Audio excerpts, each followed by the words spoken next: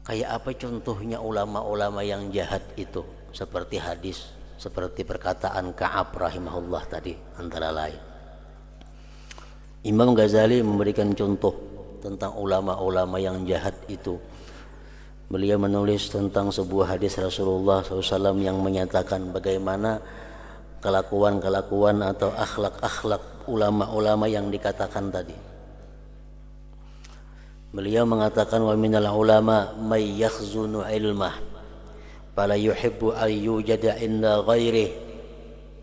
Ini contoh-contoh kelakuan-kelakuan ulama-ulama yang ditakutkan Nabi. Lebih ditakutkan daripada Dajjal dalam hal membahayakan umat. Wa minal ulama man yakhzunu ilmahu fala yuhibbu an yujada inda ghairi ada di antara ulama salah satu kelakuan ulama yang jahat itu adalah ulama yang menyimpan ilmunya. Dia tidak suka ilmunya itu didapat di orang lain. Jadi ini hendak seorangan hanya bisa ilmu itu pada akan bagi ke orang lain.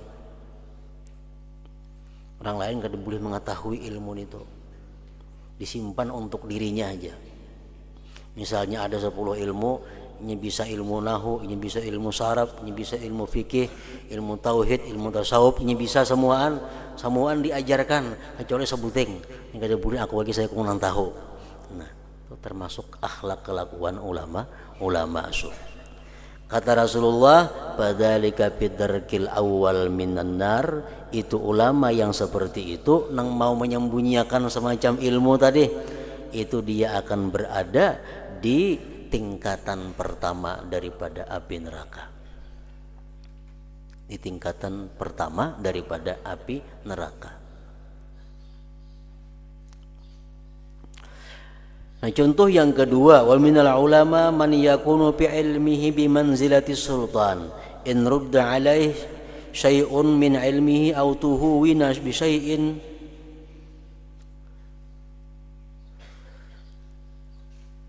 min haqqihi wadiba fadzalika fi darki tsani minan nar.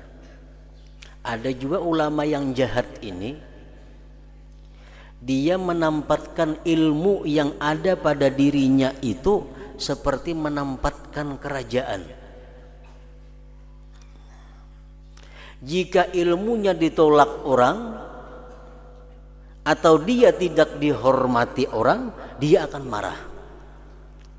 Nah, jadi ini maulah ilmu yang ada pada dirinya itu untuk memperbudak orang sehingga kalau ada saran-saran yang ampunnya kada diterima orang ini sarik ada pendapat ini yang kada dipakai orang ini marah. Nah ulama-ulama yang seperti ini nang maulah ilmunya macam jadi kerajaan kan macam raja itu boleh menyuruh A. Ah, kada diasi hukumnya kita sarik kerajaan itu. Nah ini ulama ini orang nang Bila sarannya kata dipakai, pendapatnya kata dipakai, dia akan marah. Nah, maka ulama seperti itu menempati tingkatan yang kedua daripada api neraka. Tingkatan yang kedua daripada api neraka.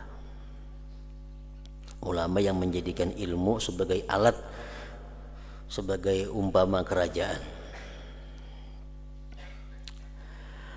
Yang ketiga wa minal ulama man yaj'alu ilmahu wa gharaib hadithihi li ahli salaf wal yasar wa la yara ahlal hajah lahu ahla.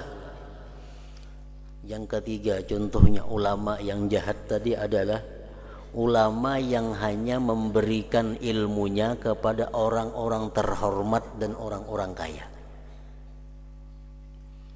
Kalau kada sugi, kada kau dapat ilmuku, ilmuku larang harganya Orang miskin kada kau mengaji lawaninya. Padalika pitar kisalis minan nar. Ini ulama yang jahat. Dia berada di tingkatan yang ketiga daripada api neraka. wa minal ulama man yansibu nafsahu lil futya fayubti bil khata fadzalik bidarkir rabi minan nar yang keempat ulama yang jahat ini contohnya adalah ulama yang suka memberikan fatwa fatwa itu lain dakwah. Dakwah itu mengajak orang ke jalan Allah dakwah itu mengajak orang sembahyang berjamaah mengajak orang meninggalkan maksiat. Itu artinya fatwa apa? Dakwah ilallah. Kalau fatwa ini adalah orang yang menerangkan tentang hukum-hukum Islam ini nih katujuban berfatwa padahal luput fatwanya itu nah artinya kadang menguasai ilmu sudah wani-wani berfatwa Nah ini ulama nang jahat juga. Kalau ulama nang baik paling hati-hati memberikan fatwa hukum itu kepada kepada orang. Nah ulama nang jahat katujuban nang fatwa sedikit haram itu haram ini haram. Amun bujur haram itu. Nah itu di kedudukan di nomor empat daripada api neraka. Kemudian lagi contohnya ulama yang jahat yang ditakutkan Rasulullah tadi wa minal ulama man yatakallamu bi kalamil yahud wan nasara liyaghzula bihi ilmuhu fadzalika bidarkil khamis minan nar. Ada ulama-ulama yang bila berbicara tentang ilmu dia sering kali menggunakan perkataan-perkataan Yahudi dan Nasrani. Supaya dianggap orang dia punya ilmu yang luas punya ilmu yang dalam. Bila bicara ini keluar bahasa Inggrisnya keluar ini keluar bahasa Perancisnya. Supaya dianggap orang ini ahli dalam berbagai hukum berbagai ilmu. Nah tujuannya macam itu nah ini ulama nang jahat juga ngarannya di neraka andaknya di lantai nang kelima. Wa minal ulama man yattakhidhu ilmahu muru'atan wa nubla wa dzikra nas. Ulama yang jahat lagi contohnya adalah ulama yang menjadikan ilmu itu untuk mendapatkan sanjungan pujian di mata manusia ilmu dijadikannya alat untuk kemuliaan untuk sanjungan pujian Padalik bidar pisadis minan nar ini di urutan yang keenam di lantai yang keenam daripada api neraka.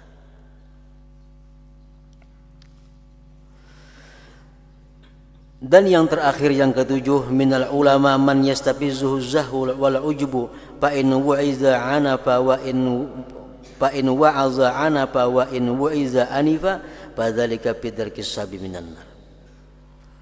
Contoh ulama yang jahat lagi adalah ulama yang punya sikap ujub. Punya sikap sombong.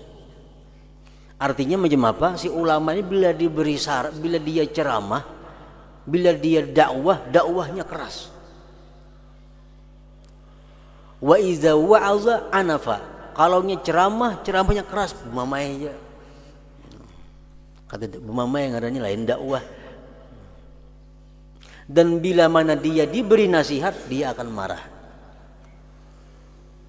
nah, ada juga ulama nang itu kelakuannya ujar nabi kita bila mana dia berceramah bemama yang besar sarik bila mana dia dinasihati orang diberi saran oleh orang inya nang sarik. Nah itu ulama adalah gulungan dimasukkan ke dalam tingkatan yang ketujuh daripada api neraka. Nah, jadi itulah contoh-contoh praktik-praktik nang kalau kita hendak jadi ulama mesti jauhi contoh-contoh seperti itu, kelakuan-kelakuan seperti itu karena jelas kelakuan seperti itu bukan kelakuan ulama yang mana mereka itu adalah kekasih Allah Subhanahu wa taala.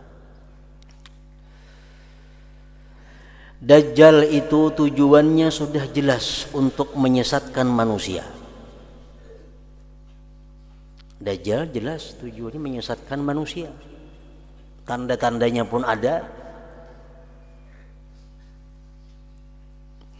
Tetapi ulama usuk ini walaupun lidahnya pandai memalingkan orang lain daripada cinta dunia, namun amal dan perbuatan mereka adalah mengajak orang lain membuat kejahatan. Karena amalan seseorang itu lebih berkesan daripada percakapannya. Kenapa Nabi sangat khawatir terhadap ulama yang jahat ini? Lebih khawatir daripada Dajjal. Dajjal itu jelas orang berjauhan karena ajakannya sesat. Nah kalau ulama ini putungannya putungan ulama, surbannya surban ulama, bajunya baju ulama, kata-katanya hadis Quran nang keluar. Itu sulit membedakan orang awam nama nang bujur mana nang kada.